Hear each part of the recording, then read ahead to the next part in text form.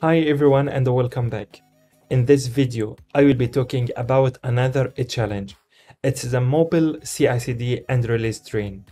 But in the beginning, let's talk about what is the meaning of the CI/CD and how we can implement release train to release our mobile apps. Mobile CI/CD is a build and release process to achieve quick and frequent release schedule, and it's a part in the mobile DevOps cycle. The key elements of mobile DevOps are continuous communication, planning, integration, delivery, deployment, testing, and monitoring. And as we know, releasing mobile apps without the right tooling is a complex process for your team. A mobile focused CI/CD tool considers the unique challenges of building a mobile applications and has a mobile first feature that help you build, test and deploy mobile apps faster and more efficiently. Cloud-based CI/CD can be described as a CI/CD as a service.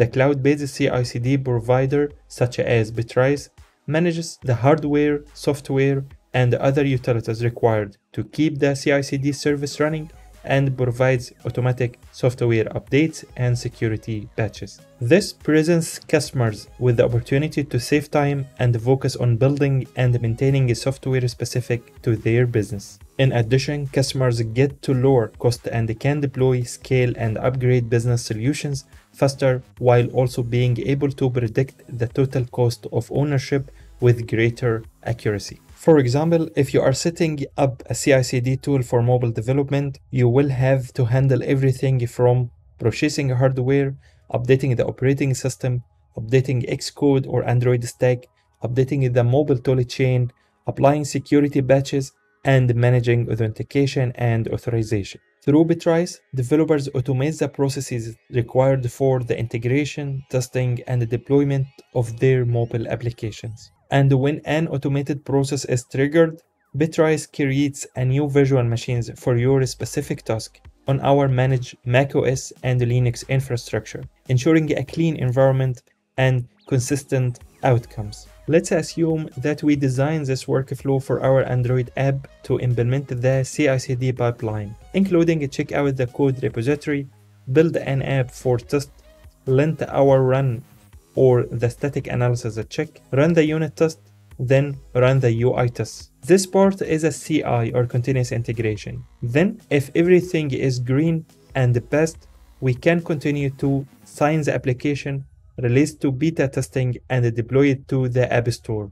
And after that, we can send the test results to the team and sending a Slack notification with the build status. And to implement the previous design with Bitrise, you can connect your source code and then add all the required steps to build, test, and deploy your app to your testers, or to the different app stores such as Google Play Store and Huawei App Gallery.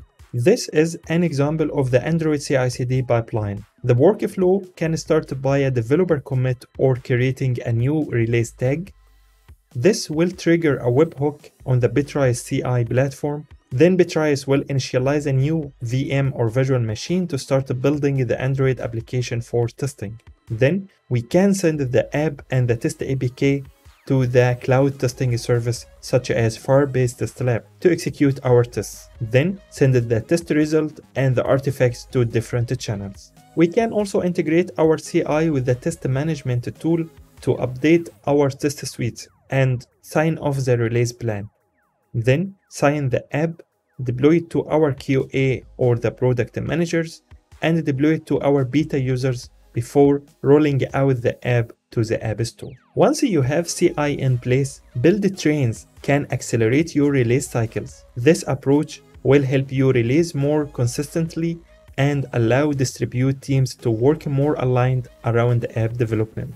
During the development phase, your teams have the time to review, test, and merge the features to the main branch. That should be part of the train. And when the content of the release is agreed and ready, there will be a final testing phase. To implement the release train for your app, you should adapt a fixed release train schedule, identify a release manager, introduce feature flags, or increase the release confidence and staged rollout. At the end, I hope that you enjoyed the video and see you in the next challenge. Bye bye.